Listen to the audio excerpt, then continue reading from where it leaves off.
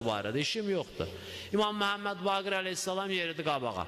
O vaxt idi ki, Yezid dedi öldürün bu Səcca, İmam Səccadı, əsirləri öldürün qalsın. Hamısı dedi öldür.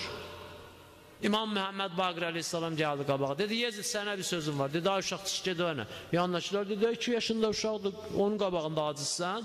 Allah da var axı. Allah da var. Allah o Allahdır ki, Məryəmi Beytül Müqəddəsdən uzaqlaşdırdı. Allah o Allahdır ki, Fatimə bindi Əsədi divarı yırtdı, gətdi, saldı Kəbənin içərisinə. Allah siz zarafat şey fikirləşmir. Dedi qoy danışsın, danışdı. Dedi Firon, Yezid, ay sən atua lənət. Toğluydu.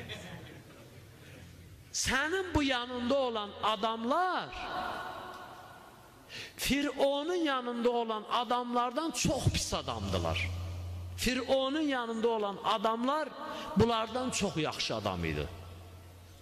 Dedi niyə? Dedi çünki Fironun yanındakılardan Firon soruşdu. Musa və yanındakıları neyniyək? Öldürüm.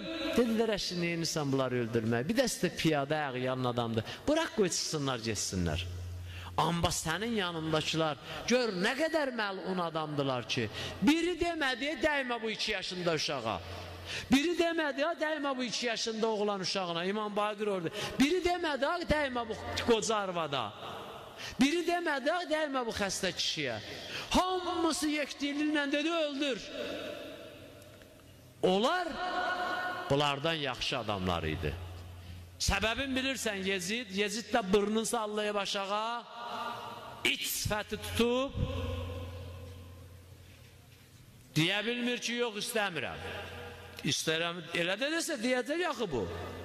Dedi səbəbi odur ki, Fironun yanındakı o adamların hamısı halalzadə idilər. Bunların hamısı haramzadədir.